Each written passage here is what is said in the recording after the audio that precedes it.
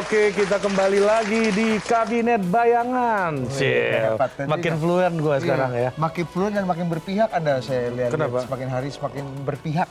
Berpihak kepada apa? Berpihak kepada masyarakat. Tapi kita kan boleh juga berpihak kepada politik. Boleh, kan. boleh dong. Presiden juga kan juga boleh berpihak. Iya. Gak apa-apa. Yang nggak boleh berpihak tuh sekretaris presiden kita. Permisi. Hah? Saya nggak tahu. Permisi, maaf, maaf. Saya, Saya ini nggak tahu. belum nanya, Pak Oh, belum, Presiden. belum. Maaf ya, Pak. Pak Presiden, Ya. Pak Wakil Presiden ini Ya, saya gimana iya, iya, saya dapat laporan ini katanya Hmm. mau nanya, ini bunga yang mau dikirim bener ini? Ini dari eh, ini ya dari Taman Raya Bogor Bayangan. Bayangan, betul.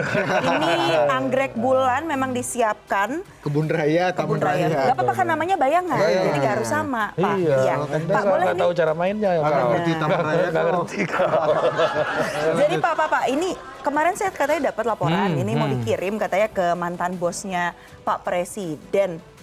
Ini buat merayakan ulang tahun, bener tapi bunganya yang ini, anggreknya ini, bener nggak? Ini tanda apa ini? Apa maknanya? Kalau anggrek bulan sih tadi saya cari-cari salah satunya ada unsur-unsur kemewahan, perdamaian katanya. tapi bener ini. Ada yang nggak mewah dan nggak damai, Mang. Ya saya nggak tahu kan Bapak jangan saya yang ditanya, tapi bener ini sekecil ini Pak. Ini nggak ngerti, nggak ngerti. Tuh kan bukannya bapak yang minta, Pak Presiden. iya, tapi saya cuma mau tanya aja Pak kalau memang ibu negara yang langsung pesan ke si- Wah, sana. ya nggak tahu kalau itu ya, tapi Emang saya ada ibu negaranya? Belum ada dari kemarin ya. Nanti kita, Tadi kita undang. ada. Tapi Pak ini yang benar masih masa segini sih ukurannya ini niat apa enggak sih mau minta maafnya? Oh, Kayaknya enggak deh. Itulah, kamu ini nggak ngerti bunga kau. Iya, kau. Jadi kita tanya ibu negara dulu. Iya, kau tanya Bang Sulfan apa artinya tuh nggak Ya udah ngerti nanti kita tanya ya abis ini. Oke. Ya udah deh.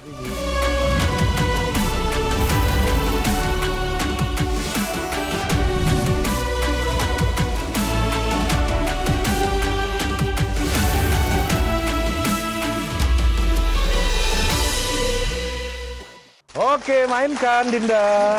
Nah, siapa aja? saya, Siapa tahu. aja? Siapa aja narasumber tahu. kita Oke, hari ini-? Mainkan Dinda. Ya ini menteri-menteri Ya izin Pak Presiden udah ya, berkumpul kita. menteri-menteri kita ya. Ya. Biasanya presiden yang paling agak senior, menteri-menteri lebih muda. Ah, ini kebalik, Bu. Balik kita yang ditekan menteri ini semua. Nggak ngerti kau. kan? lebih galak menteri daripada kita. Oke, yang pertama kita kenalkan Menko Polhukam bayangan kita ya, Opung Pandana Baban ya, Oh. Letjen TNI Purnawirawan ini ya. ya. Kolonel Sofian. Mantap, Opung. Nah, dari satuan apa dulu Menko Polhukam? Di eh, militer ini dulu. Satgas Sindal. Mantan kan. Ya, Gen Z nggak tahu tuh. Kayaknya itu yang paling sering berurusan sama Opung dulu tuh. Oke, yang kedua. Nah, yang kedua ini Dari eh, langsung dari eh, ujung barat Indonesia ini Iya, ya. ke- ke- kepala badan intelijen kita nih. Iya. kepala Oh, binnya kabin. eh, bayangan ini. ya. Cocok. Karena bukan karena jago, karena kumis aja. nah, ada Zulfan Ikut-ikut Lindan, Bang Zulfan ya. Siap. Ya, kita ingin merayakan lagi, mengembalikan lagi kepada kita. Iya, Kepala oke. intel Oke, itu yang harus- ketiga. Eh. Iya. Yang ketiga. Kompak Nah, presiden yang ketiga. wakil presiden. The one and only. Mr. Q, Muhammad Kodari. Ya, Mensesnek. Mensesnek, Ya. bayangan. Bosnya Kaset Press Iya. tadi. Ini sejak kapan Mensesnek pakai Nirvana. Nirvana ini? Sejak anu ada wakil presiden Apa lagu usia Nirvana muda. yang Anda paling suka apa Mr. Q? Eh, apa ya? Teen Spirit. Oke, Yang berikutnya. yang terakhir Ya, ini yang paling banyak berdoa ya, ya. dari Surabaya Timur. Ya, mengurusi haji juga. Ya, ya dan kan? beliau juga eh, sangat piawai dalam pepatah-pepatah India, Dit. Betul. Oh iya. Apa? Janganlah pernah engkau sesali susu yang tertumpah. Iya iya. iya. Dan tadinya beliau ini menteri eh, apa kehutanan ya. Iya. Tapi setelah sujud syukur dua kali di sini kayaknya kayaknya lebih cocok dia jadi menteri agama. Iya. Ada Adi Pre. Iya. Mantap. Oke. Iya, udah makin mirip Totpol ini acaranya kan. Makin tebal, Pak. Persis, Pak. Makin suasananya makin makin KKB. Iya. Kawan-kawan Budi. Kita eh Eh, udah situ. Press kita. Eh, lanjut lanjut. Iya, saya lanjut dulu Iya, boleh boleh. permisi Laporan, Bapak laporan laporan, Menteri, laporan. Bapak Ibu Presiden. Iya ya. benar, mohon izin Pak, itu tadi eh, anggreknya tolong dipikirin dulu ya kira-kira ukurannya benar segitu apa mau nanti diganti. Dikabarin aja nanti saya suruh Tadi eh, salah staff nama, saya. salah nama. Salah Apa? nama. Yang dipesan Pak Presiden ini anggrek wulan, bukan bulan. Waduh, gitu. jadi kita harus cari si Ulan yang mana? Anggrek ini memang ukuran kecil, tapi kalau kita poles bisa gede. Oke, kita lihat ya nanti di akhir acara kira-kira jadi besar nggak tuh ya? Apalagi kalau nyampe Thailand langsung gede nih. Kenapa? Iya, iya. Ya Iya, udah lah ya. Ya. Oke. Gede kan di Sebentar, Timur perdebatan ukuran dari anggrek ini boleh dilanjutkan, Iya, iya, tapi iya. saya Boleh, sambil dulu punya beberapa laporan ini yang sudah ya. disiapkan untuk para eh, peserta dari Bapak Ibu Menteri yang ada di rapat kerja Kabinet Bayangan. Kalau sebelumnya kita udah sempat bahas soal kayaknya makin jauh nih ya hubungan antara Presiden Joko Widodo dan juga PDI Perjuangan. Tapi kali ini justru kayaknya makin terang-terangan. Nah, coba kita lihat ya. Contohnya apa? Nih, yang pertama, Pak Jokowi kemarin bahkan sempat kritik pembangunan jalan Solo Purwodadi Jawa Tengah yang katanya nggak kunjung selesai. Walaupun udah bertahun-tahun dilakukan. Ini tuh maksudnya nyindir Pak Ganjar Pranowo atau gimana? Langsung ya berarti. Pak Nah, Ganjar apa Pak, Pak Basuki yang disindir itu? Enggak ada siapa-siapa. Oh enggak ada. Nah, oke. Nah, dirinya, tapi ternyata dirinya. kritikan dari Pak Jokowi ini Jadi ternyata kritikan dari Pak Jokowi ini juga langsung direspon sama Pak Ganjar. Jadi ada yang tiba-tiba, uh senggol dong, eh kesenggol beneran ya. Uh, bahkan Pak Ganjar juga sempat kayak bernostalgia soal jalan rusak itu saat meninjau satu mobil bersama dengan Pak Jokowi dan juga Menteri PUPR Pak Basit, Basuki Hadi Mulyono ya. Dan Pak Ganjar juga sempat bilang kalau udah lapor kok sama Pak Jokowi, udah lapor Pak gitu katanya. Tapi akhirnya ngaku kalau Pemprov Jawa Tengah ini tidak punya biaya karena dana infrastrukturnya dialihkan ke penanganan COVID. Begitu dapat bantuan dana dari eh, Kementerian PUPR, mungkin nanti Pak Ganjar harus eh, mengklaim dulu nih jika perbaikan jalan rusak ini sudah mencapai sekitar 80 persen. Ya Berarti mungkin ini salahnya Pak Jokowi lagi dong. Q ini. Waduh, kalau masalah salah-salahan nanti coba kita bahas ya lebih Harusnya lanjut Pak ya. menjawabnya gini, sorry ye. Nah, itu dia. Atau mungkin kita bikin viral dulu ya, biar kayak di provinsi saya. Ups, kita lanjut.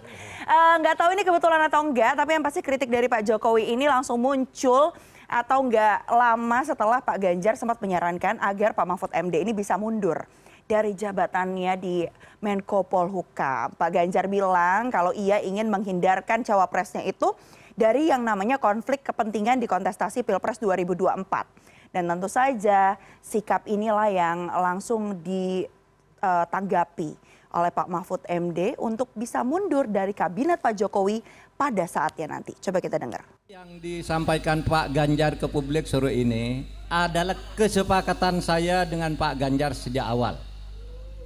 Bahwa saya pada saatnya yang tepat nanti pasti akan mengajukan pengunduran diri secara baik-baik. Akan mundur secara baik-baik di saat yang tepat. Kita tungguin kira-kira saat tepatnya Kalau kapan nggak- ya. Kalau nggak tepat nggak baik-baik dong. Nah, nggak tahu. Nanti coba kita lihat ya. Apa bedanya orang Madura dengan yang lain? Kenapa tuh Kalau yang bedanya? lain tuh baik-baik, kalau yang Madura baik-baik. Bye-bye. Oke deh ya. Yang Tapi ini mundur, juga mundur kalau Madura dur mundur. Dur mundur, teh sate. Oke deh, nanti kita tanya Pak Adi Praya. Tapi kalau mau ngomongin satu hal yang juga menarik, ini tampaknya Ketua Umum PDI Perjuangan Ibu Megawati Soekarno Putri juga sebenarnya kayak tampak tidak ingin ya agar kabinet Pak Jokowi ini digembosi. Karena hal ini disampaikan oleh Sekjen PDIP Pak Hasto Kristianto yang menyebutkan kalau ada Menteri PDIP yang siap mundur tapi ditahan emang sama Bu Mega. Katanya sih Bu Mega nggak mau stabilitas pemerintahan terganggu akibat mundurnya mundurnya para menteri dari partainya itu. Kayaknya masih ada yang cinta, masih ada ya rasa-rasa care-nya ini dari Bu Mega kepada Pak Jokowi. Pantas aja cintanya Pak Jokowi ke Bu Mega juga bisa dikatakan tak pernah padam. Aduh, suara saya nggak ada nadanya, tapi ya kira-kira begitulah ya.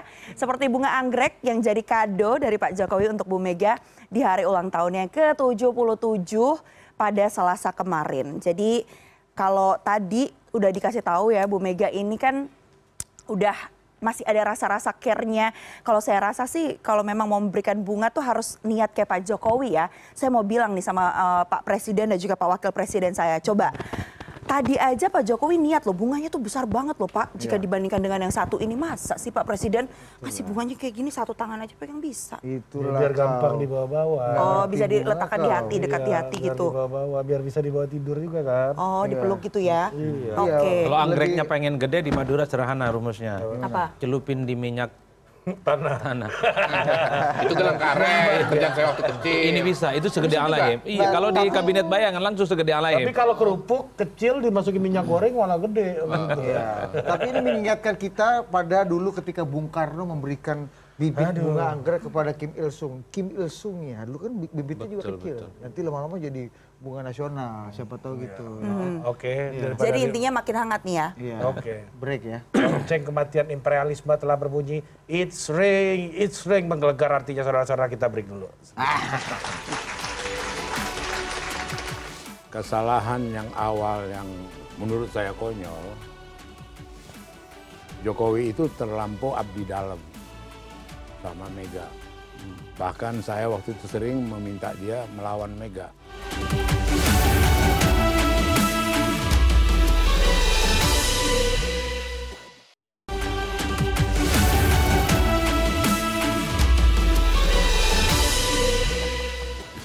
Oke, kita kembali lagi di eh, rapat kabinet bayangan dan tugas sekretaris sekarang- presiden. Oh, ya. Nggak apa-apa, nggak apa-apa. Saya dikasih contoh yang baik ya oleh Pak Presiden saya. Jadi boleh Ya. dilanjut lagi Pak Presiden? Ya, saya boleh Silakan. dipotong-potong terus sama Wapres Iya, nih. gimana sih harusnya Nggak ngerti rapat kau. ya.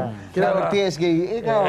Kita langsung aja ke Bang Zulfan di soal bunga-bunga ini, Bang. Iya, bunga dulu deh. Ya itu kan saya kira begini.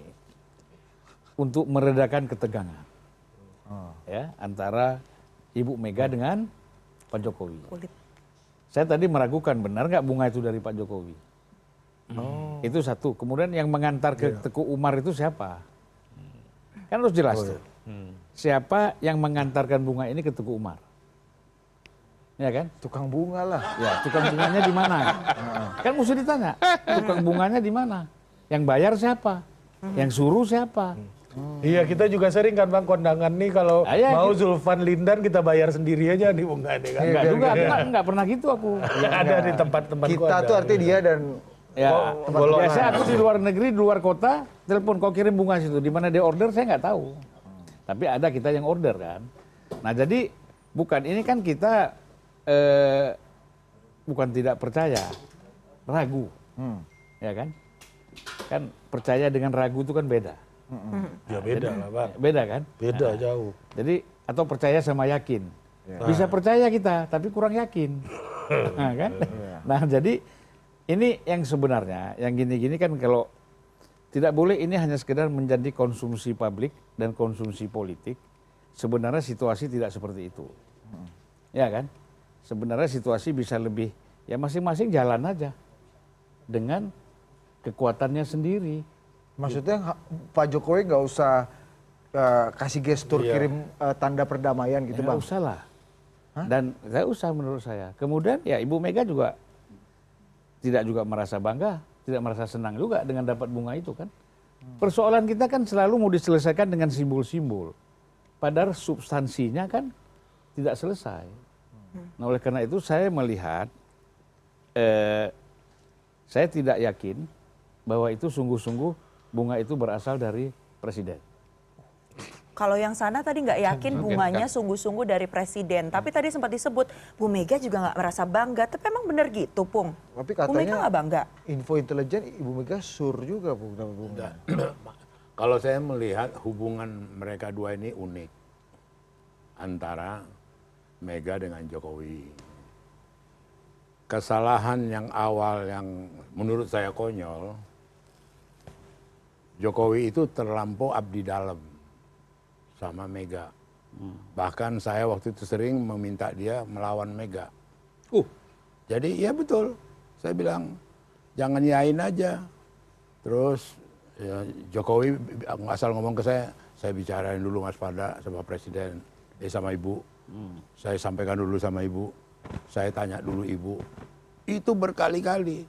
Contohnya opung apa yang banyak. terlalu mengikutin Bu Mega? Provokasi, apa iya. satu Apa, kebijakan yang Ya banyak kemudian ter- dianggap ter- termasuk lu masuk kabinet.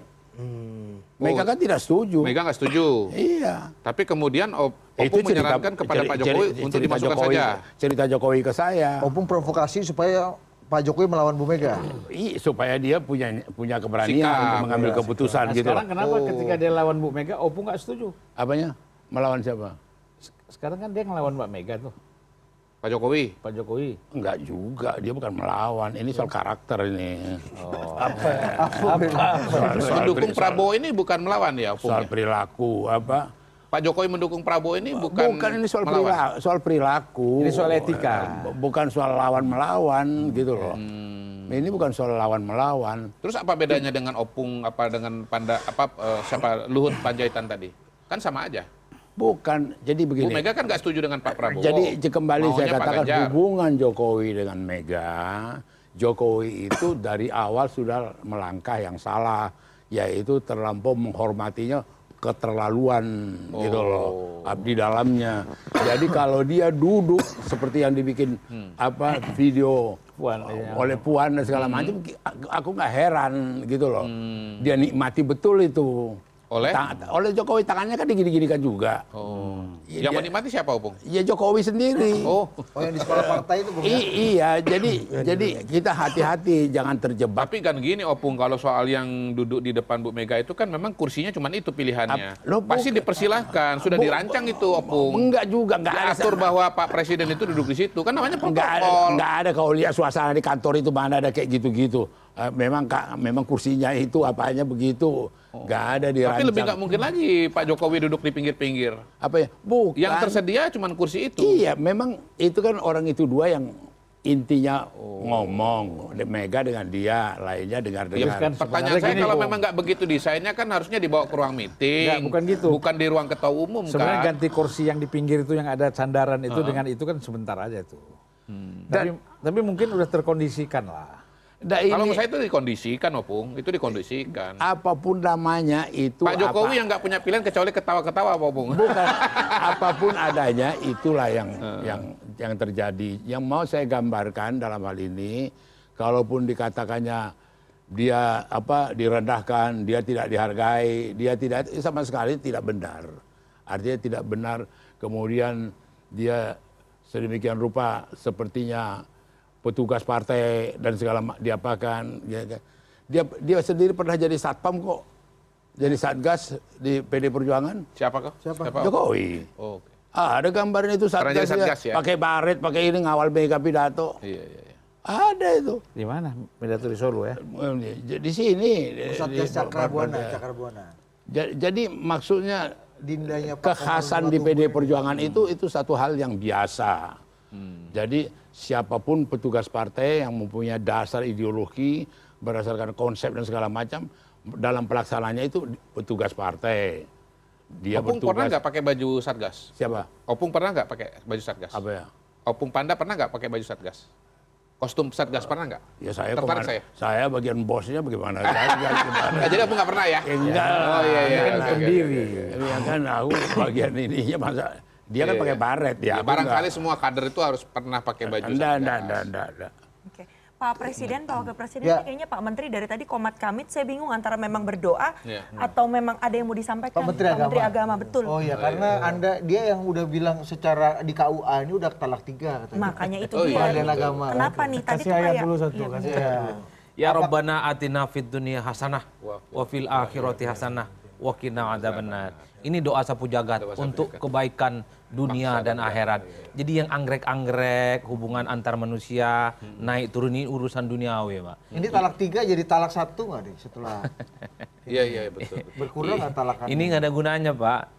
Ini bunga boleh kelihatan indah, simbol perdamaian, ya. Tapi dalam kondisi tak akur hubungan antara Jokowi dan Mbak Mega, ini memang layak ditanam di kuburan, Mbak. Udah nggak, udah nggak ada maknanya. Udah nggak ada maknanya, apalagi Anggrek, anggrek rasa Kamboja ya. apa pun lah judulnya. Simbol-simbol kayak gini udah nggak penting sekarang. Ini sudah terjadi konflik hati yang nggak bisa ditolong. Jadi sehebat apa pun karangan bunga, ucapan ulang tahun kepada Bu Mega, bagi saya ya biasa saja. Dulu mungkin ketika tidak ada huru hara politik antara Megawati dan Jokowi, Jokowi dan Megawati, nggak usah bunga anggrek pak, ucapan selamat ya, apa pun bentuknya itu jauh lebih indah dari bunga anggrek itu. WA aja lebih indah. WA lebih indah, telepon lebih indah, video call jauh lebih indah. Anggrek kayak gini nggak ada artinya sekarang. Oleh karena itu, Meskipun Bu apa pun. Mega suka anggrek. Oh Bu iya. Mega kan suka betul anggrek ya Bu ya. Bener Bu? Ini kan soal suasana hati. Kalau suasana hati nggak nyaman, terjadi konfrontasi hati, apa pun yang dikasih pasti tak happy pak. Pasti nggak nyaman. Mau segepok emas ditaruh di depan, kalau suasana hatinya tak nyaman, itu berasa seonggok batu yang tak ada artinya. Ini yang terjadi. Makanya saya selalu mengatakan ini udah talak tiga, apalagi. Nah, Tapi ini kalau kan- menurut saya ya, menurut saya ya, sebagai Mensesnek ya, Ya. Mensesnek saya ya, Ya, ya, ya. bosnya kaset Ya Plus sebagai Mensesnek memang harus melihat apa harus menjaga hubungan baik antara presiden, wakil presiden dengan para tokoh-tokoh politik Ya. gitu. Dan menurut saya memang bunga ini betul-betul dikirim dari Pak Jokowi kepada Ibu Mega. Salah dong laporan intel kita ini menurut Anda Hah? salah. Enggak, ini Laporan biasa lah perbedaan salah. pendapat antara pembantu presiden itu biasa. Itu kan itu versinya kepala bin. Ini kan Ya. versinya Mensesnek kan. Jangankan Mensesnek dengan kepala bin, Mensesnek dan Mensekap aja bisa beda. Mensesnek yang menjalankan fungsi intelijen gitu. Hah? Yang menjalankan fungsi intelijen. Begini, yang Tapi namanya ini presiden intelijen itu, menjalankan fungsi Mensesnek maksudnya. Eh, yang namanya presiden itu kan mendapatkan berbagai macam masukan dan informasi ya sehingga kemudian ya kembali kepada presiden untuk menyimpulkan mana yang lebih dia percayai begitu. Jadi kalau menurut saya sebagai Mensesnek memang perlu dijaga hubungan baik. Jangankan dengan Ibu Mega, jangan dengan Ibu Mega. Ini Menteri Agama. Menteri Agama. Menteri Agama.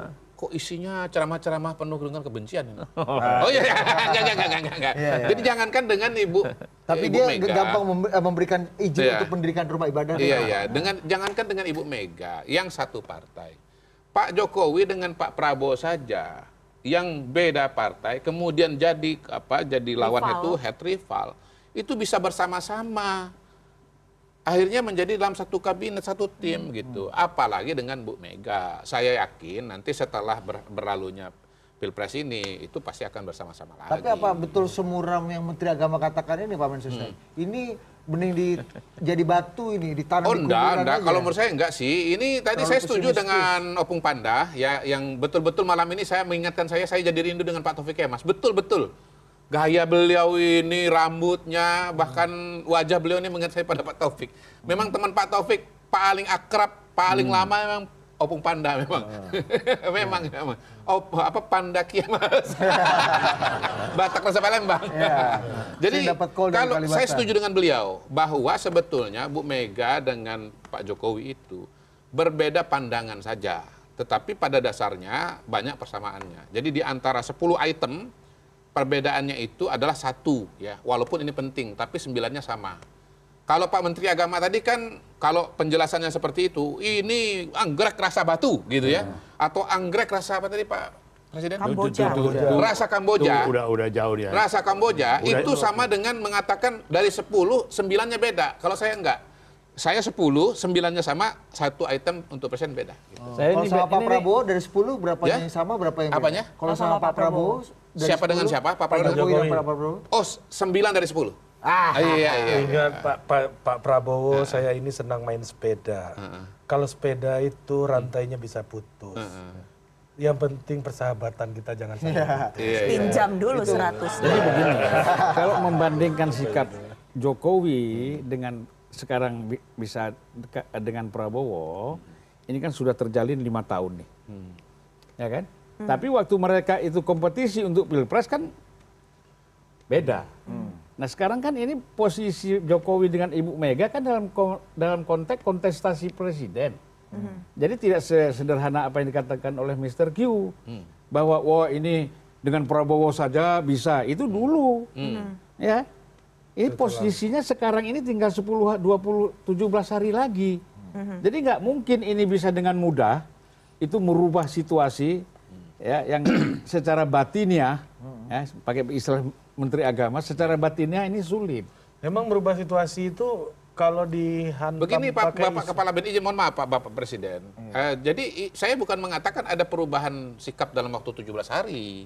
Setelah Pilpres. Oh. Justru dalam konteks lain 17 hari lagi. ini menurut saya justru makin lebar. ngasih- Ini kan kita bicara Justru bunga lebar. ini kan sekarang. menuju putaran Justru kedua. makin lebar, makin lebar. Tapi Begini, setelah begini, Pilpres saya- ini selesai, baru akan bertemu lagi. Anda Saya saya justru saya justru kita. agak berbeda. saya bukan mau menakut-nakuti sebagai menteri agama. Saya di awal berdoa untuk kebaikan bangsa dan negara. Apa yang ingin saya katakan adalah ini kan realitas politik yang tidak bisa saya tutup-tutupi. Waktu ulang tahun PDIP Jokowi nggak ngomong apa-apa, nggak ada video, nggak ada karangan bunga, nggak ada video call dan seterusnya. Kenapa giliran ulang tahun Mbak Mega yang ke-77 dia kemudian ngirim anggrek? Ini aneh. Kenapa nggak inline sekalian? Apakah Jokowi ingin mengatakan sudah tidak dengan PDIP, tapi dengan Mbak Mega ingin mencoba untuk membangun jembatan komunikasi politik. Dua hal yang menurut saya nggak bisa dibicarakan. Bicara PDIP, bicara tentang Megawati. Jadi inline PDIP, inline juga Megawati Soekarno Putri. Yang kedua menurut saya, mungkin dalam politik serba mungkin ya. Tapi kalau kita melihat pertalian historis politik kita, bagaimana hubungan Mega dengan SB nggak kelar hari ini? Apa coba salah SB dengan Megawati misalnya sejak 2004 sampai sekarang hanya persoalan saat itu menurut versinya Opung ya enggak menurut versinya Opung saat itu SBY ditanya apakah mau maju sebagai presiden atau tidak jawabannya tidak tapi maju di situ saja sampai hari ini tak termaafkan karena dianggap berkhianat dan tidak konsis dengan omongannya ini kebersamaan Jokowi dengan PDIP dengan Megawati 23 tahun endingnya beda pilihan politik, endingnya soal pilih berbeda. Kok rasa-rasanya agak sulit untuk dibayangkan bahwa apa yang terjadi hari ini akan selesai pasca pilpres.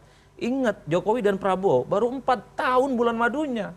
Wajar kalau penuh sanjung dan puji, rekonsiliasi rasional, saling merangkul tentang kebersamaan. Kalau dengan PDIP mungkin agak bosan. Jokowi udah 23 tahun, udah dianggap petugas partai, nggak bisa ini dan bisa itu. Pertanyaannya apakah dengan yang lain akan diberikan kemewahan itu? Belum tentu. Ini masih bulan madu kok 4 tahun. Apakah Pak Jokowi setelah nggak jadi presiden, bulan madu juga dengan Prabowo akan lanjut atau tidak? Rasa-rasanya saya tidak akan menjamin itu. Oke, terima kasih Menteri Agama kita. Kita break dulu. Sampai jumpa di segmen berikutnya. Kesalahan yang diterima sebagai benar itu Enggak masalah juga. Ya nggak boleh. belum berarti- Langsung diarahkan saja kepada DPR.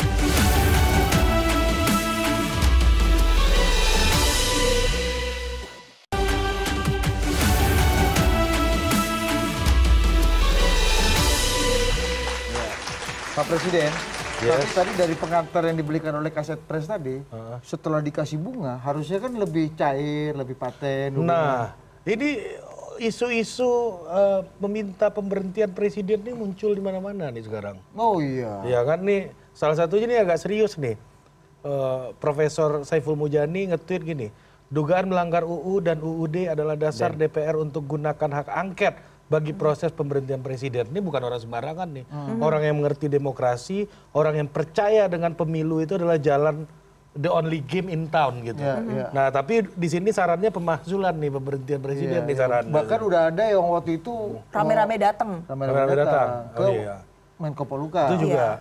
Nah, yang lebih spesial lagi salah satunya adalah setelah dikirim bunga, justru malah ada ajakan untuk mundur dari kabinet. Nah. Dari calon presiden. Kita lempar Gimana message. Menteri-menteri Iya. kita ini. Eh, menteri-menteri Pak Jokowi. kita lagi. Jadi pertama soal pemakzulan itu, soal pemakzulan itu, wilayahnya adalah partai politik yang ada di DPR. Semua proses pemakzulan itu harus dilakukan di DPR. Ya sudah jelas salah kaprah bahwa ada 100 orang yang datang kepada Menko Polhukam. Artinya yang datang itu tidak mengerti hukum tata negara. Tetapi yang lebih mengherankan lagi adalah Pak Mahfud sebagai Menko Polhukam dan ahli tata negara kok menerima orang yang salah. itu menurut saya kacau dua kali itu. Jadi harusnya jangan diterima. Kalau mau datang gitu, pasti WA dulu kan. WA aja balik. Bro, ente salah kamar. Kamar pemakzulan ini bukan Menko Polhukam, tapi DPR. Tapi justru diterima. Jadi ini yang offside adalah Menko Polhukam. Kenapa diterima? Itu satu. Anda dukung tapi jangan kemari dong. Iya. Artinya begitu bunyinya Iya, iya, gitu. iya. Nah, yang kedua, kalau Ini- bicara ini pemakzulan nggak punya pengalaman jadi menteri. ini. ah, it- artinya dia datang tamu Menko Polhukam ya dia terima dong. Ya kalau Anda Menko Polhukam didatangi Bukan da- ingin da- da- kami ini Anda deng- dengar dulu, iya kita terima, kita apa maunya Jangan, dia apa apanya. Kalau barang salah jangan diterima. Setelah kita Itu terima namanya salah menjadi kaprah, legi- Legitimasi bukan. abang gitu. abang dah salah kaprah itu adalah kesalahan yang diterima sebagai benar itu namanya Enggak salah juga. kaprah. Ya nggak boleh. belum berarti- Langsung diarahkan saja kepada DPR. jadi Langsung diarahkan kepada- Tapi begini, saya bisa paham kenapa kemudian datang ke Menko Polhukam. Karena sesungguhnya udah WA kepada pimpinan DPR dan ketua-ketua fraksi tidak diterima gitu loh. Jadi ini gagasan sudah bantat dari awal. Tahu bantat ya bang ya? Bantat itu kalau bikin kue nggak mekar itu namanya bantat. Iya, iya. Iya, iya, Kerupuk tadi itu dicemplungin ke dalam lembab. minyak panas nggak mekar. Masuk Bantat angin, tuh- kurang kena matahari. Ah itu dia Ah, kira-kira. bunga Ah, ah. bantat ini ya. Jadi sebetulnya Kemenko Polhukam itu menggambarkan suatu realita yang tidak dikatakan Hmm. bahwa gagasan pemakzulan ini mentah-mentah hangus tidak bersisa di partai politik. Loh, Mental-mentah hangus ini gimana Ah? caranya nih? Ya itulah cara saya menggambarkan Oh, secara iya. komprehensif lah kira-kira begitu. Nah, coba kita lokalisir di pemakzulan dulu ya sebelum kita bicara ke Menteri Iya, jadi ya. DPR-nya nggak mau dan karena itu nggak mungkin karena dari DPR kan harus ke MK dulu, dari MK bawa ke MPR, di MPR ada DPR ada DPD. Jadi ini gagasan ini sudah gagal semenjak awal. Tapi ada jangan gitu dong Mr. Q. Gimana, Cip? Kan Menko Polhukamnya akhirnya menolak juga gagasan pemakzulan ini meskipun diterima. Iya kan pada itu ujungnya itu kan namanya percobaan, percobaan yang gagal, mencoba memantik api. Gitu, Menko Polhukam memantik api. Iya. Kalau menurut saya dengan gagasan itu sebetulnya Menko Polhukam sudah memang keluar saja lah dari kabinet itu. Nah, Oh. kalau ngomong-ngomongin tadi keluar keluar keluar kemarin juga sempat ada yang dinyatakan itu Pak Presiden, Pak Wakil Presiden bilang katanya akan mundur Iya. sesuai dengan permintaan Tapi dari kita tanya Menko. Polhukam kita dulu. Jangan-jangan beliau kalau ada yang mau memakzulkan kami berdua Happy di dia. entertain Diterima. juga. Dikasih prasmanan pula sama Menko Polhukam kita. Jadi kembali lagi ke dasar yang tadi kita lewati hubungan Jokowi dengan Mega. Itu kan tadi yang diliwatkan begitu aja. Ini pemakzulan Ya, ini dengar apa? dulu. Iya iya iya. Itu itu dengar dulu itu produk-produknya itu. Pemakzulan lah apalah. Itu dulu dasar tadi dia katakan talak tiga. Ya kan? Nggak setuju Opung talak tiga itu? Apa ya? Opung nggak setuju dengan Ini bukan soal talak setuju enggak ini bu- posisinya gini Udori bukan soal setuju nggak setuju itulah realitanya. Ngapain kita bahas? Ngapain kita analisa gitu loh. Ini masalah grammar Dia menjauh dari Mega jangan kemudian ditafsirkan PDI menyingkirkan Jokowi atau PDI tidak suka dengan Jokowi atau karena Prabowo dia sendiri yang mengundurkan dirinya kayak gitu loh. Dia sendiri yang nggak datang ke HUT, dia sendiri yang nggak ini gitu. Jadi sering banyak dimanipulasi gitu loh. Nah kembali ke tadi, semua orang tahu termasuk Mahfud tahu, siapa pun tahu pemakzulan itu nggak sederhana. Prosesnya itu nggak sederhana. Itu semua orang tahu itu. Ada undang ada keterlibatan MPR, DPD, sekian persen, sekian orang tahu itu. Tidak sesaat-saat itu langsung pemakzulan gitu loh. Itu cerita. Jadi sah-sah saja. Apa ya? Oh, Menko Polhukam menerima Ya bisa-bisa pemakzulan. saja. Tapi- kalau kata beliau Coba saya secara- izin, ya, izin Opung ya. Bisa misalnya nih, waktu Bu Mega presiden, Menko Polhukamnya adalah. Opung Panda. Opung Panda. Iya. Opung Panda jadi Menko Polhukamnya. Lalu ada orang datang kepada Opung, mau mengusulkan pemakzulan Bu Mega. Opung terima nggak? Ya terimalah. Oh diterima. Ya kenapa lu? Ya Allah. Kita saya punya dasar. Kenapa Opung terima? Saya punya dasar. Kalau saya jadi Menko Polhukam sih saya nggak terima. sih. Enggak, enggak begini, ada saya punya dasar. Kalau safety player nggak terima. Begini, Pak. Gitu loh. Pung. Jadi, Oh iya oke oke. Wanu faksi Taufiknya Mas. Eh, salah. kenapa si Menko Polhukam harus terima ketika hubungan dia dengan presiden sangat akrab? Dia, di- dia nggak telepon presiden dulu, Ah, oke. Pak. Ini ada yang ingin memakzulkan bapak, oke, oke. mau datang ke saya. Oke. Oh terima aja, kita kan perlu informasi lebih banyak. apa maunya mereka kata presiden kan? Terima. Pulang Ah, orang itu. oke, oke, oke. Apa mau mereka kata presiden? Oke, oke. Ini ini ini ini. Oke. Kasih tahu kepala bin, TNI, Polri dan DPR semua, tolong netralisir. Kan Oh, begitu pak. Oke oke. Nah, ini kan persoalan kalau hubungan itu masih Baik. Baik. Nah, ini kan yang dipersoalkan hubungannya Udah nggak bagus. juga bagus. Jadi wa- wajar juga diterima. Enggak, kalau saya tidak begitu. At- kalau melihat Menko Polhukam kita ini kan Madura ya. Oh. Madura itu bukan Ini- orang ini pendekatan Melayu. kultural nih, pendekatan kultural. Bukan kultural. Orang Madura itu kalau bawa celuri dan pisau di depan. Oh. Tidak ditaruh di belakang, taruh keris Celurit seperti orang ditaruh di Jawa. depan? Taruh di Apa depan. nggak bahaya? Oh, celurit kawan aman, Bang. Oh iya iya iya. Bisa dijinakkan sejauh. Saya pengen Bagi tahu saya- bagaimana cara Ba- Bagi saya itu. kalau melihat Menko Polhukam, Mahfud MD ini kan hal. Pertama wajah aktivisnya memang nggak pernah selesai. Jadi sejak jadi menteri sekalipun statement-statementnya kritis, Pak. Kritis. Apa pun dia komentarin tentang hukum dan tentang korupsi. Bahkan Pak Mahfud sering kali lupa bahwa posisi dirinya sedang di dalam sebagai Menko Polhukam.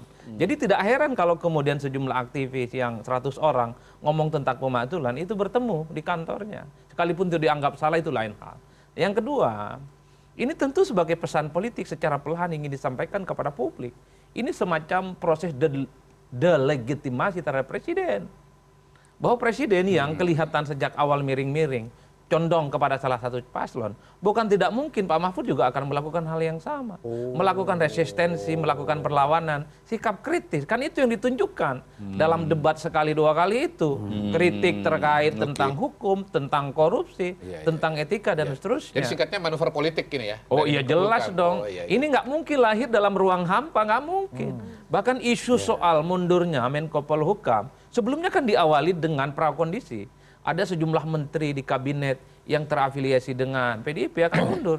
Menurut saya ini juga bagian dari bagaimana untuk memberikan propaganda politik Pak Jokowi sebagai presiden yang jelas punya sikap politiknya harus didelegitimasi dengan mundurnya para menteri ini tentu dengan informasi-informasi yang disampaikan itu Pak.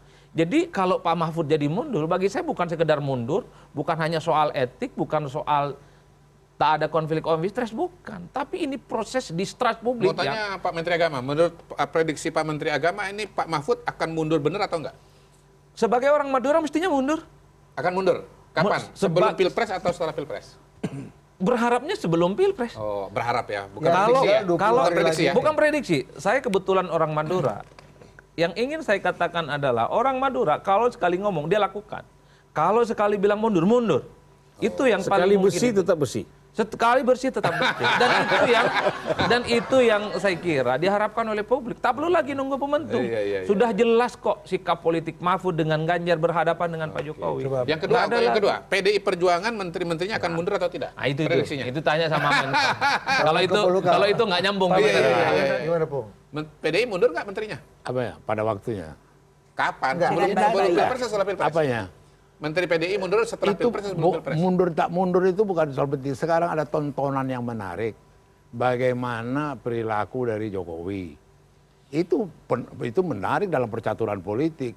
Dia apalagi sebagai presiden, dia katakan dia bisa Kan PDI Tampak- punya dengan- reaksi. apa ya? PDI kan punya reaksi terhadap Ya, apa tidak- yang ditampilkan oleh presiden. tidak semua mesti di, di, dibeberin dong. Nanti kau Oh, berarti, tafsirkan berarti lain nggak lagi. mundur ya Opung ya? Hah? Berarti nggak mundur ya PDI menterinya? Apanya? Pada Nggak waktunya. akan mundur ya? Nggak pada waktunya nanti. Ya, Pung, tapi apa Oktober 2024 itu jabatan kabinet selesai namanya Pung.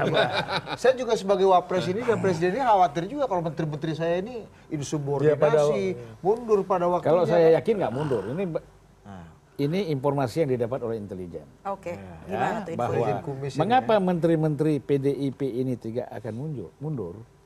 Ini sekarang masih banyak orang yang ragu atau orang masih ragu-ragu. Orang masih berpikir bahwa kaki Jokowi itu belum sepenuhnya dua-dua ke Prabowo. Ya, Maksudnya belum 100%. ini pandangan masyarakat. Oh. Kalau Jokowinya sudah. Ini kan bicara pandangan persepsi masyarakat. Karena sudah terlalu lama dengan identik dengan PD Perjuangan dan Ya. Mas Ganjar Ya. gitu. Dan mungkin juga tidak ada penjelasan secara masif kepada masyarakat di bawah bahwa mereka belum juga melihat Jokowi ini eh, berseberangan secara frontal dengan PDIP, dengan Ibu Mega. Nah, kalau menteri-menteri PDIP ini semuanya mundur dari kabinet, semakin mempertegas bahwa Jokowi sudah tidak lagi dengan PDIP dan Mega. Dan tidak secara- ada irisan sama sekali walaupun tipis. Dan secara elektoral itu Nah, oleh merugikan karena PD ini Perjuangan. menurut saya ini kan sekarang adu taktis antara Pak Jokowi dengan Mega. Adu gas gitu ya. Ya, secara taktis misalnya siapa yang duluan? Apakah Jokowi yang mengeluarkan menteri-menteri ini ataupun mereka mengundurkan sendiri, mengundurkan diri? Ini kan adu. Nah, jadi secara taktis ini ini ini inilah di sinilah sebenarnya tingkat secara taktis politis dan diplomasi ya, tingkat tinggi yang akan terjadi ini Iya. di dalam menjelang pemilihan tanggal 14 ini. Pak Kepala Intel, ada dua pertanyaan saya. Yang Pertama, apa dari informasi intelijen Anda yang membuat Mas Ganjar dan Pak Mahfud seiring sejalan itu tiba-tiba bicara soal mundur, menteri? Itu mens rea-nya apa? Asbabun nuzulnya apa? Ya dia Dan gini, yang kedua, ya. Kalau Mahfud Dan sama yang kedua secara etik ini Anda melihat Pak Mahfud yang sudah bicara mundur ini, terus kemudian kalau kita lihat uh, Mr. Q, setelah bicara mundur, eskalasinya kan harusnya naik terus nih. Tapi ini kok setelah mundur ini kayaknya landai lagi. Eskalasi apa tuh? Eskalasi Aktivitinya. politiknya, Oke, aktivitinya. begini aja saya jawab duluan ya biar nanti Tapi ditangkap belum selesai, belum selesai. Bos ya. Kalau Maksud Anda- saya saya mau lempar bola kalau sama Bang Pak tadi. Mensesnek Siap. Salah tidak lengkap menerima dari informasi dari BIN nanti bisa salah analisisnya. Ya nggak apa-apa, Mensesnek lebih sering ketemu presiden. Silakan Pak Kabin. Silakan Pak Kabin. Ya. Ya. Kalau Mensesnek kan ketemu presiden terang-terangan, kalau BIN kan diam-diam. Ya. Coba kepala intel gimana? ya, jadi begini. Nah, Ini mah beneran nggak tahu. Baik Pak Mahfud ataupun Pak Emang- Mahfud emang dan Ganjar Mahfud? ini menyatakan mau mundur gas tinggi ini, ini sebenarnya inilah yang saya katakan dalam kan- konteks taktis tadi. Dia tidak akan bisa mundur. Dia tahu saya tidak bisa mundur baik Mahfud atau Ganjar tanpa persetujuan Ini Mega. buat apa digas mau mundur-mundur Lah, gitu ini kan namanya permainan. Nah itu saya punya penjelasan. Silakan Pak Kabin Ya kan? dulu. Biasa kan gini, kalau saya nggak boleh semua saya jelaskan secara detail. Iya, iya, iya, iya, iya, Ini iya. tugas Mensesnek Iya, iya. menjelaskan. kan Mensesnek jubir. Terus yang kedua, kenapa kok setelah gas gini kok nggak ada reaksi, Nggak ada follow up nggak ada follow- Iya. Lah kan sudah dibilang kau mainnya sampai sini. Dia Call kan di- to actionnya nggak ada. Jadi di begini, jangan lihat Ganjar dan Mahfud ini sebagai orang yang sebagai sutradara. Dia ini aktor. Sutradaranya? Aktor ak- Ibu Mega lah. Oh iya iya. Ya kan? Nah, jadi ada Bang Panda juga di situ. Iya, iya. Ya kan? Nah, jadi nah, jadi kau sampai sini aja main. Jangan kelewatan. Iya. Ya kan? Anda sudah cukup mundur. Di sisi yang ber- bersamaan Sekjen PD Perjuangan malah bilang justru Bu Mega yang menahan menteri-menteri ini untuk mundur. Loh ya Begitu itulah. Pres? Itu yang saya katakan Ya, jawab. tadi. Kalau si Ganjar sama ini kan di skenario kan kalian capres cawapres. Boleh aja ngomong begitu. Kalau yang lain jangan. Jadi, ya- jadi gini, sebetulnya Bapak Presiden izin Pak Kabin ya, menurut saya Pak Mahfud ini memang lagi galau dan lagi bingung. Karena asal muasalnya itu, asbabun nuzul beliau ngomong begitu itu, karena Da- da- kagok. dari mana kau berani ngomong galau dan bingung? Dia santai-santai sekarang. Iya kan persepsi Aku saya. baru Opung. ketemu dia. Enggak, Persepsi enggak, saya, Opung. persepsi itu mengaco. Oh, iya, Op. Jangan kau gini, bilang saya- galau. Saya, jelasin dulu, Opung. Bukan jangan kau bilang galau, bingung nggak tahu Saya, orangnya. saya jelasin dulu, Opung. Nanti Opung silakan. Kemarin aku ngobrol bantah. sama dia gak ada galau dia. Kenapa? Eh? Dia bilangnya siapa, apa? Opung? apa Bilangnya nggak ada apa? galau ya banyak cerita-cerita ada sambil ketawa-ketawa Siapa? Sambil ini Pak, Pak, Enggak dia gambarkan galau bingung gitu loh. Iya, Kayak bicara, Presiden. kayak IQ-nya Mahfud itu Izin, nggak Presiden. jelas itu. Saya loh. saya mau motong dia takut Kualat. ya. Oke, silakan. iya. Oke, oke. Gimana, lanjutkan. Lanjutkan, kita, Iya, kita, kita iya. lanjutkan. Bukan. Opung lanjutkan. Enggak, jangan pakai istilah-istilah sekarang Mahfud lagi galau dan bingung. Tersesat pem- pemirsa Itu gitu kalau loh. nggak galau apa, Pong? Apa ya? Nggak ada galau, nggak ada bingung. Waktu ngobrol berarti gimana itu? Bi- ya Nyampein biasa- aja? Kalau aja. galau kenapa nggak langsung mundur aja sih? Iya. itu kan ada kasih Bapak Wapres. Enggak itu kan ada caranya, ada taktiknya. kan menghimbau bahwa masyarakat memilih Ganjar Mahfud. Bahwa kalau misalnya Pak Mahfud itu Pak Mahfud ketika mengatakan sekarang kondisi nggak bagus, nanti kalau saya dipilih saya akan lebih bagus. Orang kan bertanya follow up-nya, lah Bapak lima tahun di saja sana jadi Menko Polhukam nggak bisa berbuat. Apa saya bisa percaya nanti kalau Bapak jadi Wapres bisa menyelesaikan masalah itu? Itu opung kaitannya. Nah, sekarang ini con- contoh lah dulu, biar biar objektif. Ya, langsung pengalaman aku. Siap. Biarpun 10 siap. langsung biarpun 10 Mahfud juga nggak bisa menjawab ini. Aku nyam, diceritakan Prabowo bahwa di Menhan ada markup sampai 300 persen. Saya sampaikan ke Presiden. Kata Prabowo ada begini, benar Presiden, benar. Apa perintah Presiden? Saya suruh tindak.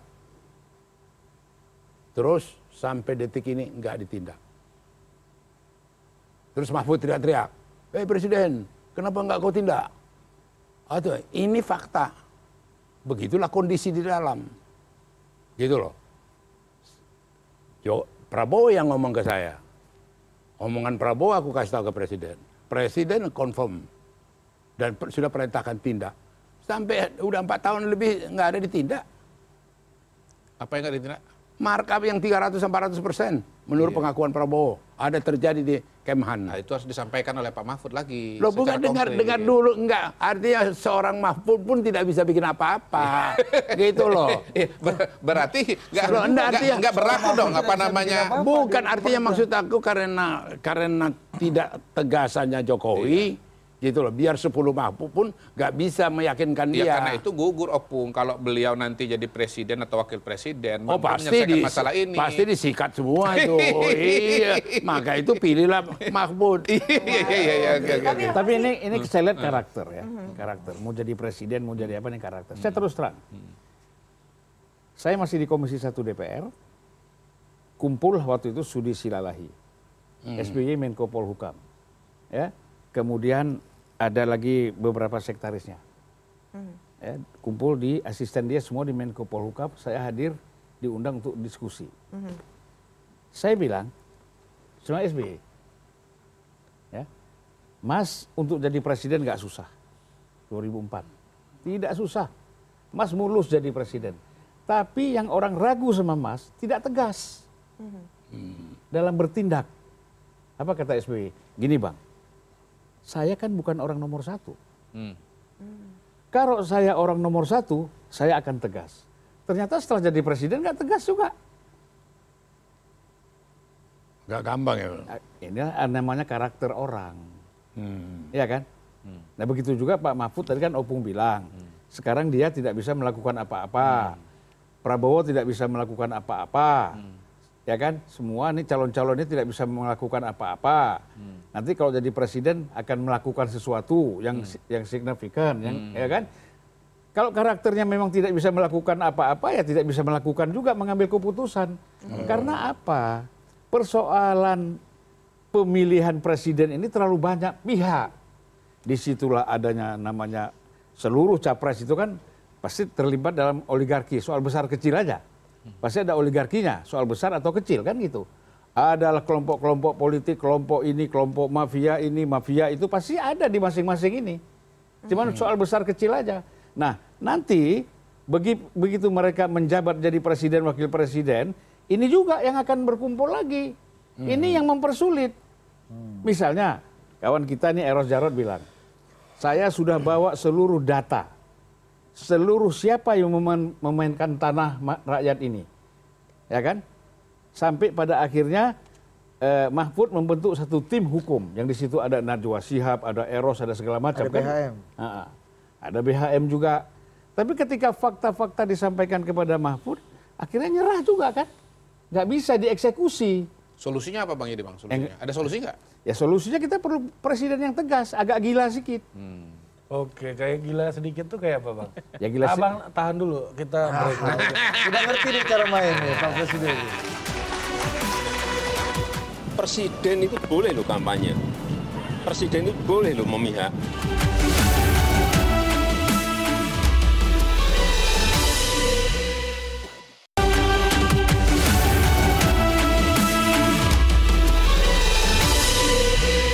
Masih di rapat kabinet bayangan kalau tadi ya Pak Presiden, Pak Wakil Presiden dan juga Pak Menteri, Menteri yang ada di sini dari eh, negara bayangan, kita masih menerka-nerka kira-kira kapan waktu yang tepat dan cara baik-baik seperti apa?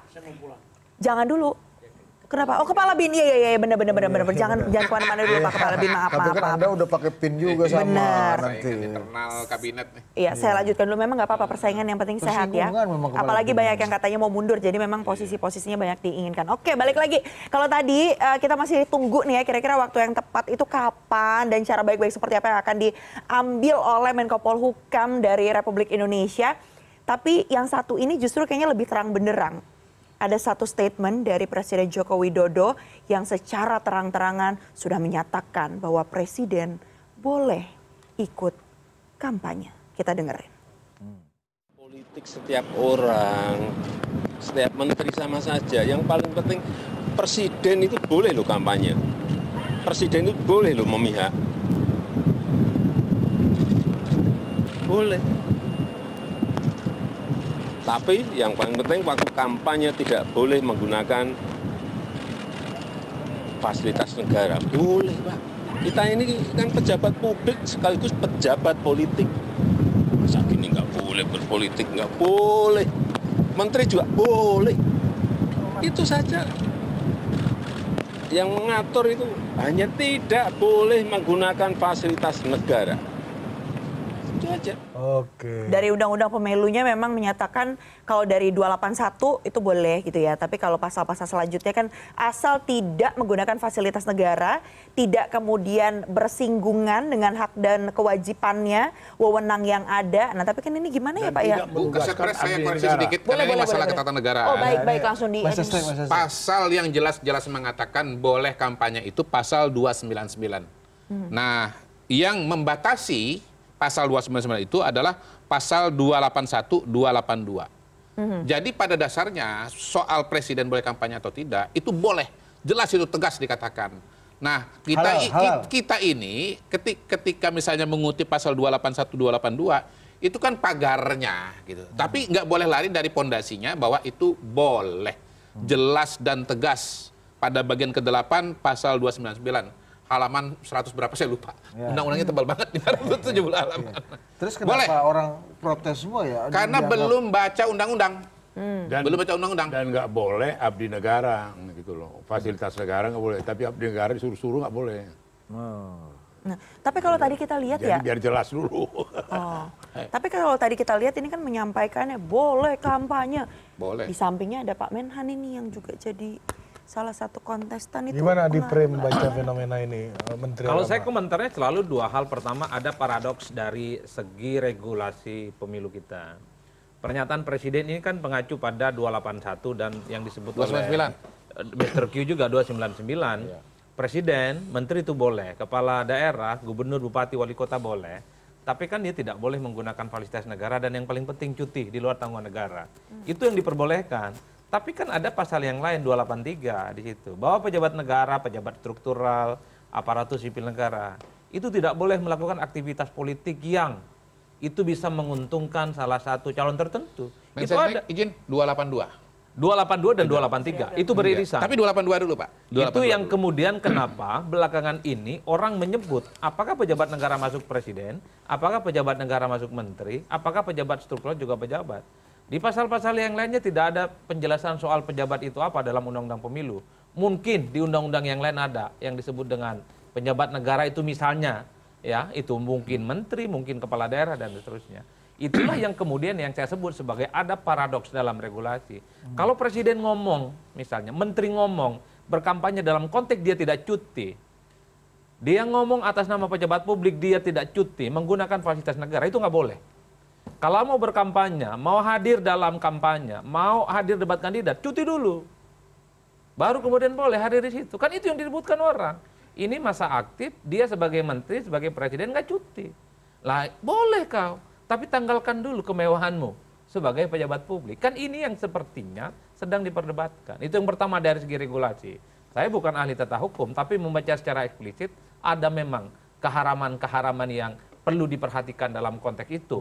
Meski kita tahu ada juga banyak halalnya seorang presiden kemudian menteri melakukan kampanye politik. Yang kedua, dari segi politik tidak bisa kita bantah. Kita bisa membayangkan sekarang bahwa dalam kabinet Pak Jokowi, menterinya itu kan terbagi tiga. Ada yang kemudian dukung Prabowo Subianto, ada yang dukung Ganjar Pranowo, dan ada dukung Anies. Anies dan Muhammad itu nggak bisa dibantah. Kalau presiden sudah jelas preferensi politiknya, bagaimana mungkin bisa mengorkestrasi satu polis, suhu kondisi politik yang nyaman?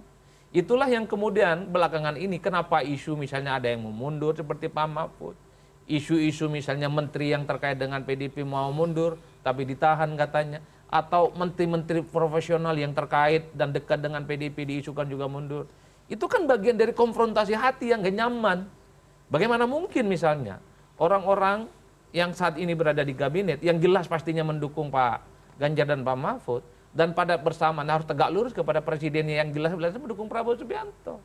Menteri Desa, Menteri Lingkungan Hidup yang ada di kubu nomor satu. Bagaimana mungkin akan menganggap sebagai presiden yang akan ditaati dalam tanda kutip ya. Sementara pilihan politiknya di 2024 itu berbeda. Inilah yang saya kira memang khawatir ada goncangan-goncangan politik apa pun. Jadi bagi saya isu soal mundur nggak mundur ini melampaui soal etik nggak etik lagi pak, melampaui soal abuse of power, ini melampaui soal konflik of interest. Ada suasana yang nggak nyaman. Orang seperti Mahfud MD nggak nyaman kok. Dia nggak pernah ya ada di sampingnya Pak Jokowi ketika Pak Jokowi ten- ngomong tentang politik, tentang pemilu, pasti ada Prabowo Subianto di situ. Seakan-akan Mahfud sebagai orang dalam ya menterinya Pak Jokowi, pembantunya Pak Jokowi nggak dianggap maju di 2024. Yang ngurusi politik Yang ngurusin pemilu. politik, ngurusin hukum dan seterusnya, nggak dianggap Pak. Memang pernah Pak Jokowi menunjukkan bagaimana kebersamaannya dengan Pak Mahfud? Nggak pernah. Pak Mahfud itu kurang apa sih? Orangnya top, Profesor Kahmi, senior kita nih, Bang Kodari juga anggaplah begitu. Sama sama sama. Kan kira-kira begitu. Yang ingin saya katakan adalah karena memang Pak Jokowi sejak awal sudah punya pilihan politik selain Mahfud dan itulah yang sepertinya menurut Jokowi nggak salah dan pas nggak soal. Tapi ingat ketika bicara tentang kampanye dukung mendukung harus cuti dulu. Kalau nggak cuti jangan ngomong. Kan Siapa pun. begini, cuti itu kalau dia hari libur nggak perlu cuti. Betul. Kan dia bisa ambil hari libur atau Sabtu Minggu. Kan itu yang tidak dilakukan Itu oleh yang lain, Bang. cuti. Kan banyak menteri-menteri yang Cuti berkampanye itu kan. kalau hari kerja. Banyak menteri yang berkampanye untuk kepentingan paslon tertentu. Siapa pun itu menterinya. Bisa menteri yang terafiliasi satu, dua, dan tiga. Bukan hanya satu ya. Itu yang kemudian diributkan oleh orang. Oke, apa yang disampaikan oleh Pak Jokowi kita letakkan dalam konteks normatif. Yuk para menteri kalau mau dukung orang, cuti dulu dong. Jangan ngomong dukung satu, nomor dua, dan tiga. Enggak, cuti Ketika itu kan tidak. waktu mau kampanye aja. Kenapa? Saat kampanye aja cuti. Ini masalahnya ketika jadi menteri, enggak masa kampanye ngomong soal pilpres. Gimana Ini kita ceritanya? bicara presiden dulu. Jangan bicara menteri. Nah kan Kalau- menteri juga dan uh, Contoh, presiden contoh, juga. contoh. Siapa? Siapa yang berbicara seperti itu? Ya, itu dia lagi kemarin. nggak cuti, lalu kemudian dia me- itu mengkampanyekan. menteri-menterinya kemarin. Siapa? Wih, ini bansos dari ini. Siapa? Siapa? Dari presiden. Siapa ngomong dan kapan di belakangnya, mana? Saya nggak mau ada undang-undang ITE. Belum Enggak, direvisi. kalau benar faktanya kan nggak ada masalah. Jadi Kodenya warnanya Mu- mungkin gini, mungkin. Jadi gini harus makanya ken- kenapa harus harus ngomong verbatim ya? Karena jangan sampai itu persepsi kita mengkampanyekan, padahal kriteria kampanye itu nggak ditemukan, kan begitu kan? Gitu aja. Kalau- Ah, ah. Lo iya ya. dong. Kalau saya kalau kita bicara pelanggaran-pelanggaran harus bicara detail, nanti akan diperiksa itu semua. Jadi statement presiden yang terakhir ini saya melihat dari segi lain. Bahwa saya sendiri bersyukur dengan pernyataannya itu memudahkan dia lagi membantu Prabowo dan Gibran. Gibran. Dan artinya dia betul-betul lah melakukan satu sikap kampanye terhadap itu. Jangan setengah hati. Berkali-kali saya katakan setengah hati. Satu. Kemudian jangan dia ulangi kesalahan. Mengkhianati Ganjar. Jangan pula dikhianati Prabowo. Gitu loh. Itu harapanku kepada Jokowi. Jadi bagus dia katakan presiden boleh kampanye, dia katakan presiden ini lakukanlah itu. Tapi emang Ya. termnya masih khianat mengkhianati berarti Om. Apanya? Eh, konsep yang Loh, digunakan. apa namanya itu ditinggal? Kan beda kepentingan Nggak, nggak, biasa nggak, aja nggak, nggak kan usah, ada nggak usah naif lah. Apa itu? Dia sendiri yang merancang Ganjar, dia yang ngomong sama aku, kita berdua mempersiapkan sangat mendalam per- mengenai Ganjar, nama Ganjar juga dari dia, terus dia tinggal. Itu apa namanya?